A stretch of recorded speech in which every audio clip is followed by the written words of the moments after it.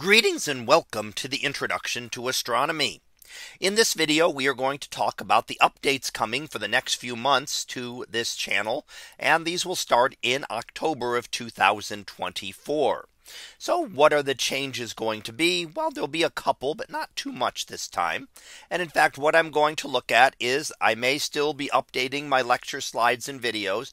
I really haven't updated a few too many of these yet. I've made a few modifications, but I don't have any specific schedule for these. As I feel like I need to update the lecture videos, I will do so. The channel will continue and I will still continue posting the three videos a week.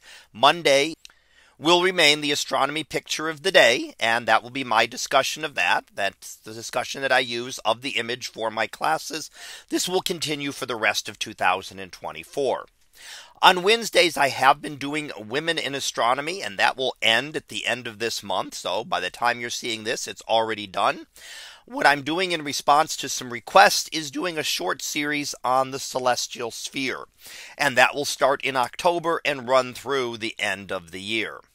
And then on Fridays, I am going to keep going with misconceptions in astronomy and continue that for the end of the year. And then we'll make some changes as we get into January of 2025. So that concludes this brief video discussing the updates coming to this channel for October of 2024. We'll be back again next time.